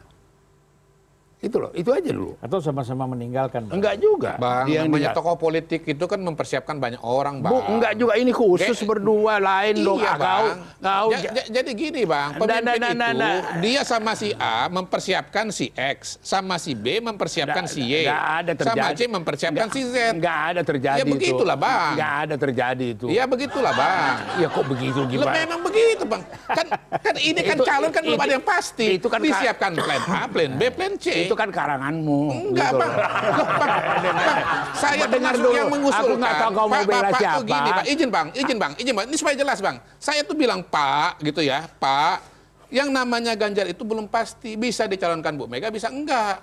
Yang pasti maju calon presiden itu namanya Prabowo. Kenapa? Satu, dia surveinya tinggi. Yang kedua, dia sendiri yang tanda tangan. Untuk maju calon presiden kan Itu- syaratnya dua. itu- itu siapa ngomong? Elektabilitas. Saya yang ngomong, Bang. Bukan ngomong Saya itu. ngomong, Bang. Oh ini tadi Saya yang dalam- ngomong. Dalam mega tadi. Saya dalam- ngomong, dalam- saya ngomong sama yang abang ceritakan tadi itu. Abang sama yang tadi diceritakan ngomongnya itu. Saya kan datang, saya kan Hmm. mengatakan bahwa presiden itu atau pemimpin itu pasti dia punya plan A, plan B, plan C. Hmm. Soal nanti mana yang diputuskan tergantung perkembangan kan begitu kan bang? Begitu, izin. Nah, tapi kepala Intel kalau Saya kira begini, Iya. saya setelah saya selidiki dalam sekali, politik kita ini penuh dengan romantisme. Oh. Oleh karena itu terlalu melankolik. Sehingga ketika terjadi langkah-langkah politik yang berbeda, itu kita muncul romantisme. Iya, Nah, dulu begini, dulu begitu, ini begitu. berguguran di jalan dakwah. Harusnya gimana dong? Bang? Biasa aja, politik itu biasa. Sepakat, sepakat. Tadi kan seperti bahwa kalau memang ada partner kita berbeda jalan Ya, dalam dalam politik ini, ya. ya kita berbeda aja. Betul. Tinggal kita apa? Kalau kita sama-sama maju presiden, kita bersaing, kompetitif, secara sehat kan itu. Nah kemudian saya setuju tadi bahwa kalau Jokowi ini menentukan sikap lain dari apa yang dia tentukan Bang Panda kan bilang tadi, Pak Opung bilang mengatakan bahwa dia dulu mempersiapkan Ganjar begini begini, ya kan? Tetapi kemudian dia Ja- pindah jauh haluan. sebelum Prabowo ya. Ya, dia pindah. Jauh sebelum Ya Prabowo. betul, tahu lah kita, Bang. Ya kan? Bahkan sampai diisukan baju garis-garis itu pun ikut juga dia merancangnya kan? Bukan Ikut- Rudi itu bang. Ya, tapi kan berdualah orang itu kan antara kumis dengan nggak kumis itu berkawan. Iya kan? ya kan berkawan orang itu. Waktu masih hubungan baik kan pasti kalau pulang ke Solo pasti Rudi datanglah ke rumah Pak Jokowi kan gitu. Dialog mereka. Tetapi ketika ada perbedaan-perbedaan politik itu biasa aja. Jadi kita di sini tidak bisa berpolitik secara rasional. Ya, kita berpolitik selalu dengan romantisme. Dengan ya, itu yang menurut saya yang ini tidak selesai. Akhirnya perdebatan-perdebatan di media di media sosial Iya. muncullah apa yang kata Opung tadi, berkhianat, Iya. tidak konsisten. Tapi gini Kepala Intel, ini eh, apa namanya Pak Presiden Jokowi itu bicara mengenai boleh berpihak, boleh mendukung itu setelah ada eskalasi mundur-memundur eh, menteri ini. Jadi kok rasanya dan kemudian kalau kita lihat banyak juga di media sosial dan para analis politik ini bicara ini Pak Jokowi agak serius nih membuntuti Mas Ganjar di Jawa Tengah. Oke kita Konsentrasi Jawa diskusikan Tengah. setelah ini. Ah ya itu dia maksudnya. Aku diskusi sama Jokowi satu ketiga di Istana Merdeka. Bagaimana Mas Panda udah ngomong sama ibu? Bagaimana caranya kita sampaikan ke ibu nama Ganjar ya?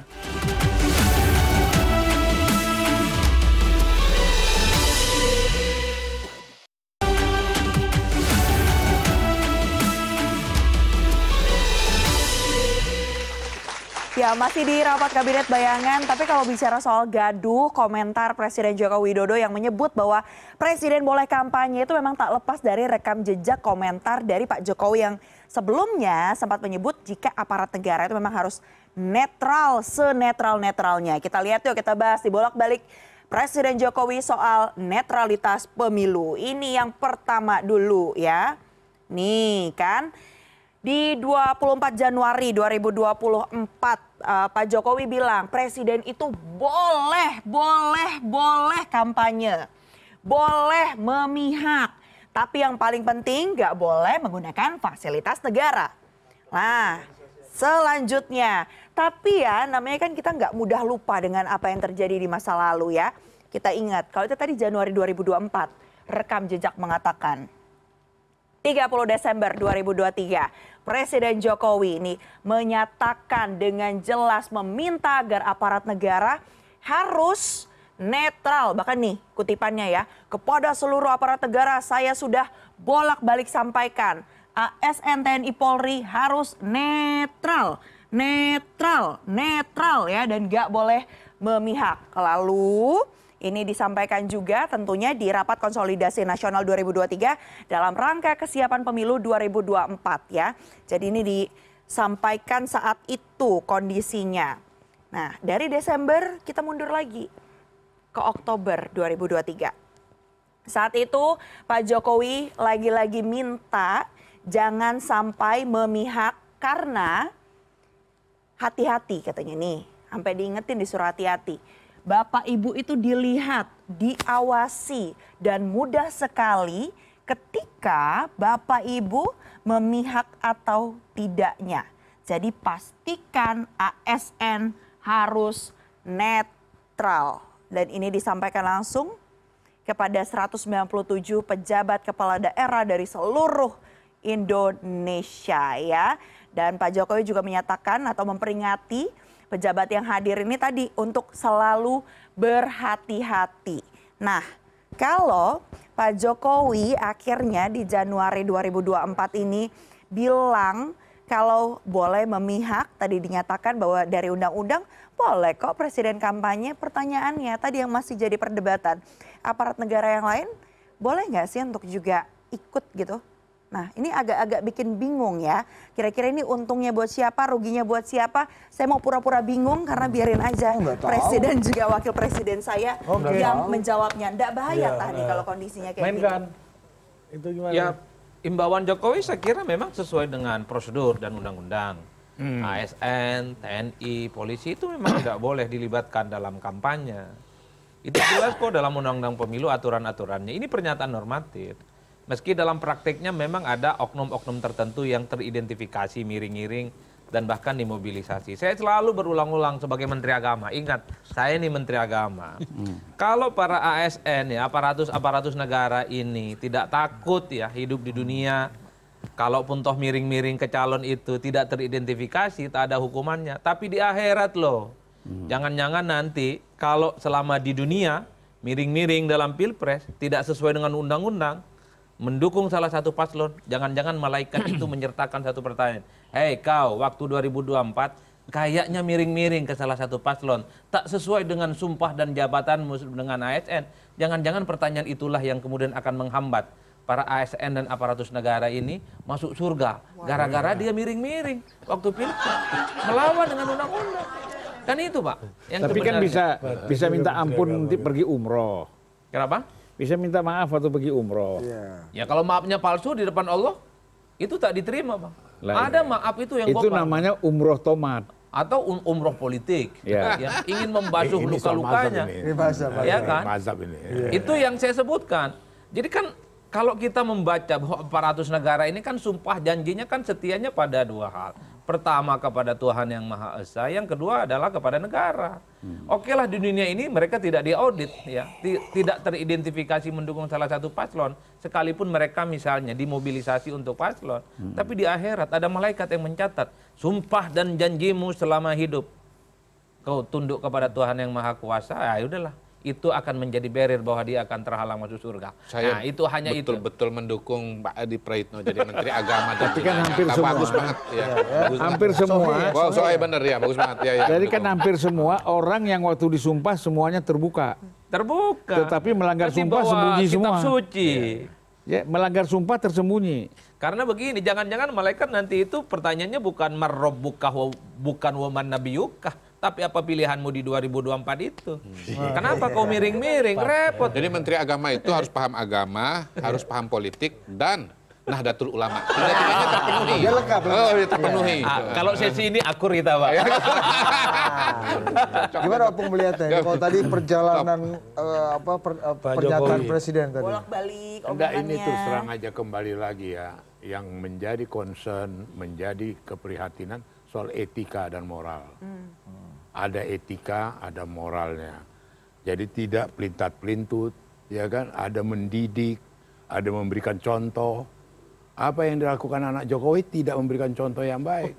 Bikin pernyataan dukung PDI Perjuangan Ganjar, diviralkan lagi, tidak. Ngomong tegak lurus, enggak Bengkok. gitu. Jadi yang begitu soal etika, ya. Kalau tidak, kalau menghalalkan segala cara dan tidak menghargai etika dan moral lagi, udah nggak tahu gimana. Tapi kan nggak melanggar aturan. Do- dengar dulu, enggak ini tadi yang saya bilang dasar siap, dari siap, apa dari dari itu ini soal etika. Sama dengan Jokowi. Dia yang mempersiapkan Ganjar, dia yang mengapakan sama dengan supir Metro Mini, seinnya ke kanan dia ke kiri. Gitu loh. Loh, kok tiba-tiba dia bukan lagi ke Ganjar. Kalau apa? Gitu. Kenapa nggak ompung contohkan bajai? Nggak pakai esen belok. Bajai terlalu kecil. Udah Nah, ada sekarang baca, ma- makin dikit. makin Jadi ini kan ini ini bagaimanapun etika dan moral itu saya pikir penting. Apalagi Pancasila, Undang-Undang Dasar 45, apalagi negara kita negara berketuhanan. NKRI. Gitu loh. Jadi itu itu sangat penting gitu ya. sekali. Nah, di dalam hal ini kita harapkan Jokowi memberikan contoh. Nah, kalau seperti sekarang misalnya dia memang ber- berpihak aja sepenuhnya kepada Prabowo. Tunjukkan, nyatakan saya tidak Ganjar tapi Prabowo. Begitu dong. Jadi jangan jangan kemudian abu-abu, nggak jelas, nggak ini. Tapi menurut Opung itu nanti akan disampaikan nggak statement yang Opung tunggu-tunggu tadi? Harapan kita kalau dia kalau mau dia berpolitik itu artinya betul-betul lah seperti kenapa dia nggak katakan terus terang saya tidak lagi dengan Ganjar. Itu kenapa? Kenapa? Kenapa? Ke- Itu itu harus dia jawab Kenapa itu. Hah? Kenapa? Soal keberanian, moral courage, punya keberanian nggak untuk menyatakan itu? Kenapa nggak? Ya. Dia sendiri yang persiapkan. Jadi bisa bayangin nggak aku diskusi sama Jokowi satu ketiga di Istana Merdeka, bagaimana Mas Panda udah ngomong sama ibu? Bagaimana caranya kita sampaikan ke ibu nama Ganjar ya? Itu bukan bukan cerita cerita persiapan begitu-begitu aja. Nah tiba-tiba sekarang seperti tidak punya latar belakang, seperti tidak tidak ikut dalam proses, gitu loh. Ya, kan ada plan A, plan B, plan Lo C enggak, tadi kata oke Mrs. lah mau plan. A, mau plan B, oke lah. Dari segi kita ini soal etika, soal etika. Bakal kita senang dengan dia katakan itu terus terang, lakukanlah itu. Ya. Presiden bisa kampanye kampanye lah sepenuhnya gitu loh. Ya. Dukunglah yang mau dia dukung, apalagi anaknya ada di situ. Pung, tapi ada Ya. juga yang bilang nih Pung, bicara kampanye-kampanye dan mendukung-mendukung ini, ini lame juga di media sosial, bahwa presiden ini lumayan aktif sekarang, kembali ke Jawa Tengah, katanya ada bagi-bagi bansos, ada resmikan proyek-proyek, pokoknya turba, BLT, ke bawah ini. BLT lagi. Hmm. Nah, Opung melihatnya ini gimana tuh Pung? Bagus lah, Nah, bagus dong. Kan lebih lebih terbuka, lebih apa fairness. itu dianggap kampanye juga atau memang presiden menjalankan tugas-tugas kepresidenan dan kenapa yang dipilih Jawa spesifik Jawa Tengah ini Pung yang di Udahlah rakyat sekarang sudah bisa menilai, rakyat udah bisa tahu Iya. gitu loh. Dia dengan pilihannya kepada anaknya, dengan baru oh, rakyat juga sudah cukup kritis gitu loh. Oh rupanya karena itu, oh rupanya karena itu gitu loh. Jadi nggak ada yang dikhawatirin gitu loh. Oke. Malah sikap-sikap dia ini terus terang menguntungkan Ganjar Mahfud. Gitu, ke- kekonyolan-kekonyolan yang dilakukan dia itu menjadi satu dialektika untuk meningkatkan popularitas, meningkatkan simpati kepada Ganjar dan Mahfud gitu loh. Pemahaman saya. Oke. Gitu. Kepala Intel gimana? Melihat ini betul nggak Pak Jawa Jokowi ini Tengah, ya. Jawa Tengah ini akan jadi sasaran yang battleground yang akan sering didatangi Ya, presiden. karena kan hasil survei begini. Jawa Barat itu kan Prabowo sudah unggul. Jawa Timur juga dianggap sudah unggul. Yang belum unggul itu kan Jawa Tengah, Enggak bang, kalau survei terakhir Ya. sudah unggul juga. sudah unggul. Kalau surveinya indikator itu 4240, Prabowo Gibran unggul. Kalau surveinya LSI Jayadi Hanan itu udah 50-35 kalau nggak salah. 50 Jawa Tengah? Udah, iya. Iya. Udah unggul udah 35, merata kok. Jauh sekali 50 35. Kalau di LSI ya, kalau di indikator 42 40. Ya. Iya. Ya, jadi Di begini. carta politika berapa? Eh, Carta politika tidak menjan eh, Ada, ada. Ada ada. Lupa saya. Kayaknya masih kayaknya masih Ganjar yang unggul. Nah, oleh karena itu kan begitu. Ada yang meng- mengatakan Ganjar unggul, ada yang mengatakan Prabowo unggul. Oleh karena itu Jawa Tengah ini harus dibom dengan bansos dan dengan BLT. Ya kita ini nggak bisa lagi menutup-nutupi bahwa ini hanya sekedar bantuan sosial, ah, bahwa ini hanya sekedar bantuan eh, kemanusiaan. Tapi ini kan ada, sudah mendekati pemilihan-pemilihan politik dan itu kan berjalan. Itu otomatis automatically efeknya pasti ada. Nggak usah pun misalnya dikatakan ini untuk dukung si A, si B, si C ya. Tapi kan orang sudah tahu seperti kata Bang Panda tadi bahwa bahwa Presiden Jokowi itu kan menduk- sudah jelas mendukung Prabowo Dan anaknya. dan, dan Gibran, gitu kan? Ya, jadi orang sudah tahu bahwa tidak usah dibilang ini untuk untuk dukung siapa dukung siapa orang sudah tahu itu sebenarnya untuk siapa kan gitu. Ya. Nah oleh karena itu kan tinggal lagi eh, tadi apakah efek ini di- dilihat oleh masyarakat menguntungkan siapa? Apakah memang menguntungkan Prabowo atau menguntungkan Ganjar? Itu tadi Pak Presiden, Pak Wakil Presiden, kita masih akan cari tahu ya ini sebenarnya siapa yang diuntungin, siapa yang dirugiin dan apa sebenarnya implikasinya, dampaknya buat elektabilitas. Karena kan apa pun yang terjadi yang paling penting nanti tuh hasilnya seperti apa. Kita akan bahas usai jeda. Tetaplah bersama kami. Kalau memang Ganjar merasa dengan bansos ini ada upaya-upaya untuk melemahkan, ya kita ini harus berjuang.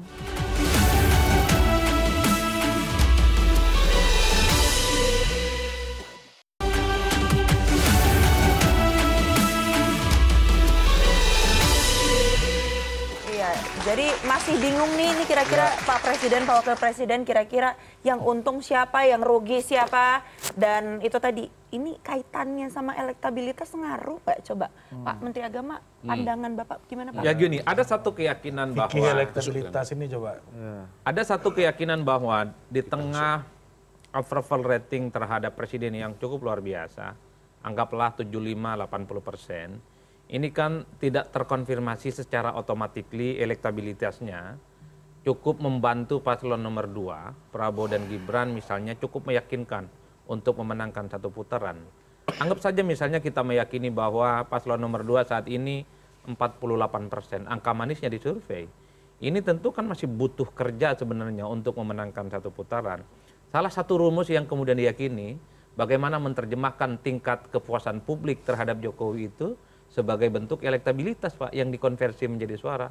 Salah satunya apa? Bahwa Pak Jokowi juga harus mulai hadir keperbihakannya secara terbuka kepada Prabowo dan Gibran. Ada bansos, pernyataan secara terbuka dan seterusnya dan seterusnya.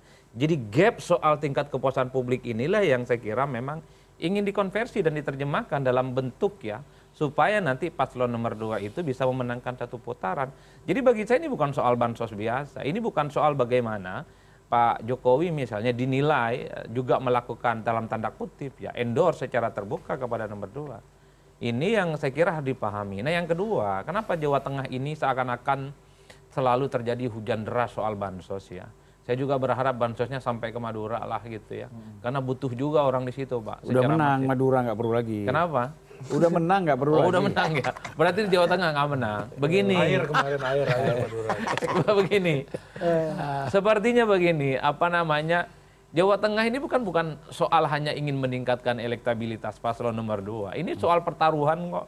Prestis. Ini ini prestis. Jadi ini soal reputasi politik aja. Kalau bisa jangan run up, bisa menang tapi menangnya tebal. Jadi data yang disampaikan oleh Bang Mr. Q gitu ya. Menang sudah, ada yang 42 40, ada yang bahkan 50 persen. Itu nggak cukup sepertinya. Itu nggak cukup harus ditebalkan. Kalau bisa menang telak, kenapa tidak itu dilakukan? Apalagi di teng di Jawa Tengah yang selama ini dianggap sebagai gantengnya Iya. opung, bantengnya apa? Kandangnya Kandang merah banteng. dan kemudian kandangnya Ganjar Pranowo. Itulah yang kemudian bisa Iya. menjelaskan. Makanya kemudian hujan deras bansos itu hanya di Jawa Tengah, tapi tidak merata di tempat yang lain. Kenapa tidak di Banten? Padahal suaranya juga tidak terlampau kuat dan sesignifikan yang ada di Jawa Timur ataupun di Jawa Barat. Itu tadi, ini soal legacy. Ini soal prestis politik yang sepertinya ingin ditunjukkan. Orang bahwa- Banten udah kaya kaya, eh orang orang Madura tuh udah kaya kaya. Gitu ya. Satu pabrik rokok di Madura itu bisa bayar pajak 500 sampai 1 triliun loh. Saya tahu tempatnya Bang, nanti saya... makanya, makanya tidak perlu dari situ aja bansos itu udah cukup ngapain? Abang kasih closing langsung. Menurut saya ya, opung misalnya. Oh, kalau memang Ganjar merasa dengan bansos ini ada upaya-upaya untuk melemahkan, ya kita ini harus berjuang. Kan? Harus berjuang bagaimana mengorganisasi kekuatan supaya tidak terjadi pelemahan dengan apa pun langkah-langkah yang dilakukan oleh lawan politik, oleh oleh siapa pun, presiden pun sekalipun.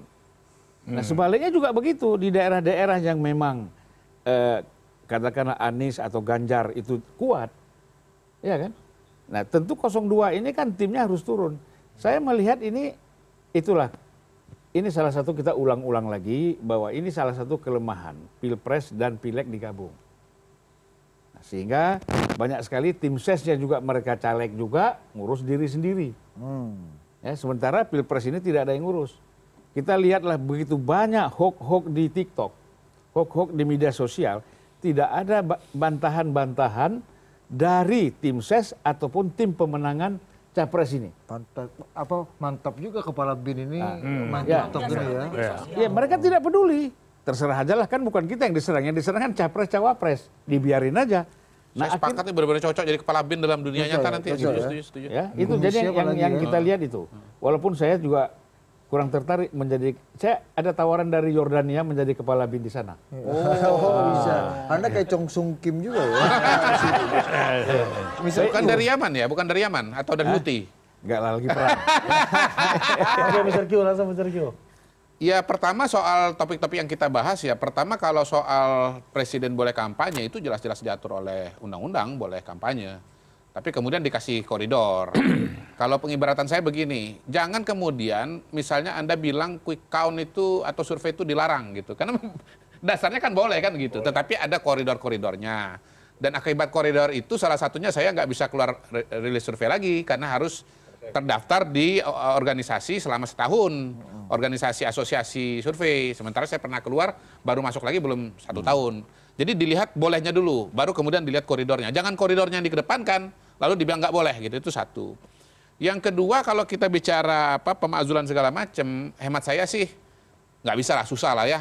Proses po- secara kriteria politik nggak ketemu, secara sosiologis juga nggak ketemu begitu. Jadi ini adalah upaya untuk melakukan dele- delegitimasi lah kepada Pak Jokowi. Dan dan perkara seperti ini bukan perkara yang baru lah, udah terulang berulang kali. Dan sebagian sebetulnya oleh orang-orang yang sama juga gitu. Kemudian yang terakhir bicara mengenai kebijakan publik selalu ada dua sisi dari kebijakan publik. Di mana pun kapan pun oleh siapa pun. Ada dimensi ke pelayanan publik tetapi kemudian di situ juga ada dimensi popularitas. Kata kuncinya sebetulnya itu nggak boleh dinafikan ya. Siapa pun ya siapa pun. Nah kata kuncinya adalah apakah anda dapat menemukan kebijakan publik yang punya manfaat atau tidak kepada masyarakat kalau punya manfaat otomatis menurut saya secara persepsi publik juga akan diterima dengan baik kalau Anda nggak bisa, maka Anda gagal. Dan terus terang menurut saya, ya salah satu keandalan Pak Jokowi yang belum tentu dimiliki oleh tokoh yang lain adalah kemampuan untuk melihat perspektif itu. Begitu. Oke. Kenapa tadi waktu bilang orang-orang yang sama juga, pandangannya ke sini? Oh enggak, enggak, enggak. Itu salah paham saja. Oh ya. Ah, ah. Ya, Opung, silakan Opung. Maksudnya mau ngelihat ke saya, cuma agak terpengaruh Saya sama bajunya Opung saya ini. mempunyai keyakinan dan juga kes- kesadaran dalam melihat permainan politik. Sikap Jokowi ini penuh membantu Prabowo dan Gibran itu menguntungkan kami. Ya. sangat menguntungkan kami. Gitu loh. Dan kemudian dengan pernyataannya terbukalah. Terbukalah, jangan ada kemunafikan, jangan ada manuver-manuver yang ini lebih lebih terus terang gitu loh. Kalau memang Prabowo, aku sekarang berpihak kepada Prabowo. Karena anakku, saya tidak lagi kepada Ganjar. Itu baru mendidik gitu loh. Gak usah pakai manuver-manuver sana sini, kemudian ambil kesimpulan-kesimpulan sendiri. Itu harapan kita. Jadi apa ya dengan pernyataan itu saya paling senang sekali pernyataan itu. Begitu dia bicara di airport di Halim, senang sekali aku. Presiden itu yang aku tunggu-tunggu. Presiden bisa Kampanye. kampanye. Kampanye lah. Tapi, Kemudian tapi yang sampai sekarang belum kampanye kan? Dengar dulu dari etika moral da- dari etika moral ini udah pengalaman tanpa fitnah tanpa insinuasi tanpa menuduh dia sudah pernah melakukan kepada Ganjar. Ditinggalkannya Ganjar. Jangan dia lakukan ini sama Prabowo. Kasihan Prabowo gitu loh. I- iya dong. Jangan jangan setengah hati Berarti dia. Ganjar ini udah kasihan nih sekarang. Apa? Enggak. Karena Prabowo kasihan kok, Ganjar nggak kasihan. Oh, karena ada Mega. Oh, ada ada partai yang solid. Ngerti PDIP kau? ada ada partai ada ada presiden nggak ngerti PDIP? ada partai yang ideologis gitu loh. Itu. Ya. Oke. Jadi sebentar, saya kira begini, apa yang disampaikan Om Pung itu secara substantif bisa benar. Tetapi kan ini budaya menentukan, mempengaruhi. Kalau saya orang Aceh, ini orang Madura. Orang mana? Pak Menteri Lampung. Saya orang Palembang. Palembang. Iya. Ini apalagi orang Orang Sumatera Madura. Utara. Ya kan? Batak, Batak. Batak lagi, Toba pula lagi, ya kan? Silangit lagi. Hah? Jadi kalau kalau mengeluarkan pernyataan seperti yang diharapkan oleh Opung tadi itu mudah. Tapi persoalannya Jokowi ini orang Jawa. Satu, kedua sudah Jawa Solo pula. Kenapa tuh Bang? Kalau Jawa Ya, Solo itu kenapa? artinya tidak mungkin se- segera mengeluarkan pernyataan seperti apa yang dikatakan Opung. Katakan, nyatakan dukung Prabowo ini, ini, ini. Itu orang Batak. Itu orang Batak. Hmm. Orang Aceh sama aja. Palembang apalagi. Iya. Madura lebih ngeri lagi kan Iya, gitu. iya. Solo keris di belakang. Ah, Iya, iya, iya, iya. ya kan? Iya, iya, iya, itu. iya. Oh, itu balik tadi ya. Ah, jadi itu Kedua di maksud itu maknanya belakang. bahwa Iya, iya, iya. ya bagi orang Jawa, apalagi orang Solo, pokoknya memahami sendirilah Oh, gerak-gerik saya, ucapan memahami. saya, senyum saya. Kita sudah pernah membahas mata saya kan gitu. Iya, iya, iya, iya. iya. Ah, jadi nggak Kalau mata dia- ditutup artinya apa? Ah. Ketawanya mata ditutup. ya tutup matanya, artinya dia nggak kurang kurang bisa menerima itu. Nah, kalau dibuka Nah, kalau dibuka di- artinya ya masih bisa komunikasi Iya, kita. Jadi Pak Jokowi ini harus di kalian nggak pernah ngikutin Pak Jokowi nyanyi ya? Saya saya mau tambahin dikit lah. Nanti dulu. Itu topinya itu. Nah. Ini gol-golnya ke belakang, bukan Ya. ke depan kan gitu kan? Lah, iya, iya. iya, iya. iya. Kalau belakang. Blangkon, iya. Inilah. Topi kan, topi belakang kan topi kalau kan. ini nongolnya di depan nggak bisa sholat. Iya. Oke, udah bagus itu, Bang. Kita sampai jumpa lagi di Loh, habis ya Allah. Nah. Waduh.